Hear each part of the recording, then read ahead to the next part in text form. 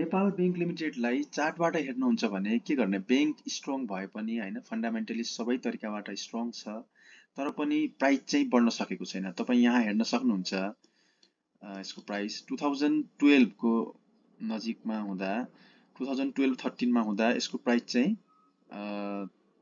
तेह्र सय बिससम्म पुगेको देखिन्छ। हाइस्ट प्राइस अहिलेसम्मको यो नै हो एनबिएल ब्याङ्कको।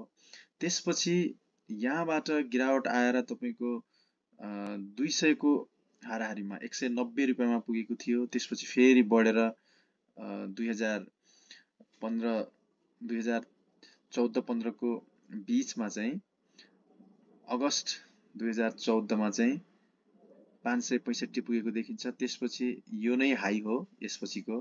त्यसपछिको दोस्रो हाई चाहिँ छ सय छत्तिस रुपियाँ देखिन्छ। जुन चाहिँ दुई हजार सोह्रमा जुलाईमा देखिन्छ।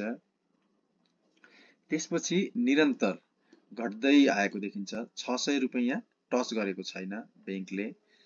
यसपछिको हाई चाहिँ तपाईँको कति छ भनेपछि पाँच सय पचहत्तर। यो पाँच सय पचहत्तर चाहिँ दुई हजार एक्काइसको अगस्तमा देखिन्छ जुन पछिल्लो बुल थियो। त्यसपछि यसको प्राइज निरन्तर यहाँ देख्न सक्नुहुन्छ तपाईँ। यो पाँच सय पचहत्तरको आसपासदेखि लगातार घट्दै आएको छ। यो दुई वर्षको पिरियडमा दुई वर्ष तिन वर्ष एक्काइस बाइस तेइस चौबिस पुग्न थालिसक्यो। एकदमै बियरिस नै देखिन्छ स्टकलाई हेर्नुपर्दा चार्टबाट होइन? अब फ्युचरमा कस्तो देखिन्छ त?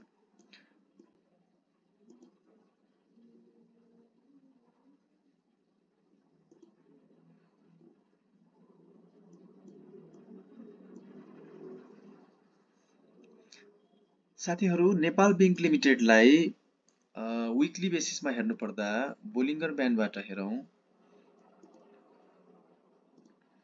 बोलिङ्गर ब्यान्डबाट हेर्नुपर्दा बोलिङ्गर ब्यान्डबाट हेर्नुपर्दा पनि त्यस्तो पोजिटिभ देखिँदैन होइन? होरिजेन्टल हुन खोजेको देखिन्छ बोलिङ्गर ब्यान्ड। तर फेरि डाउन ट्रेन्ड स्टार्ट भएको देखिन्छ यहाँ। यहाँबाट चाहिँ डाउन जान थालेको देखिन्छ अक्टोबरबाट।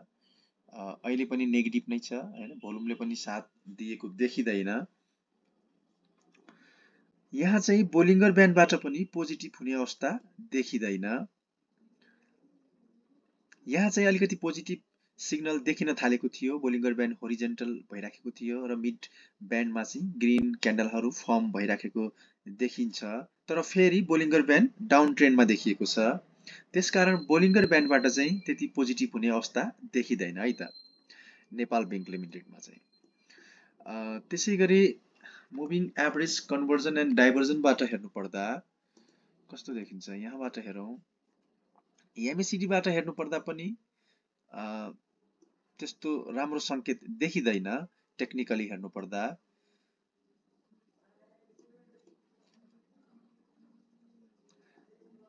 त्यसै गरी आरएसआईबाट हेरौँ। मुभमेन्ट कस्तो देखाउँछ स्टकले?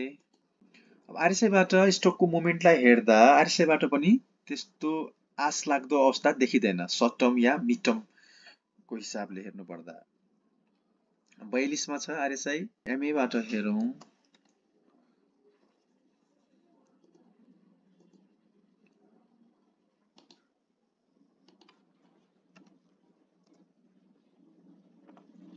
पचास दिनको मुभिङ एभरेजबाट हेर्दा कस्तो देखिन्छ? यहाँबाट हेरौँ।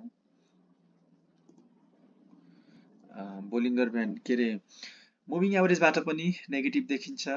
टेक्निकली नेपाल ब्याङ्क लिमिटेडलाई हेर्नुपर्दा बोलिङ्गर ब्यान्डबाट होस् एमएसिडीबाट होस् मुभिङ एभरेजबाट होस् आरएसआई कुनै पनि इन्डिकेटरबाट राम्रो सङ्केत देखिराखेको छैन। एउटा नेक्स्ट इन्डिकेटर लगाएर हेरौँ। सुपर ट्रेन्डबाट कस्तो देखिन्छ?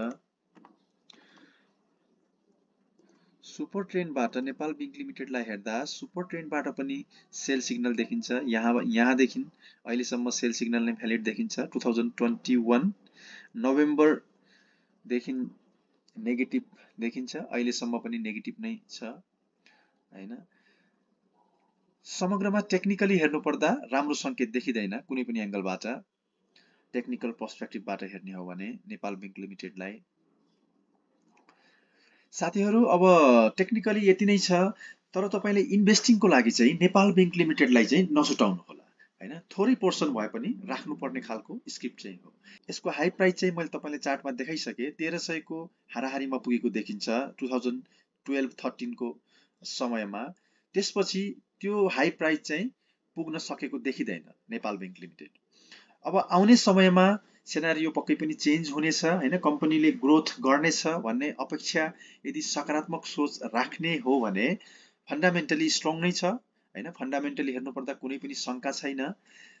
राम्रो नै ग्रो गर्नेछ फ्युचरमा होइन?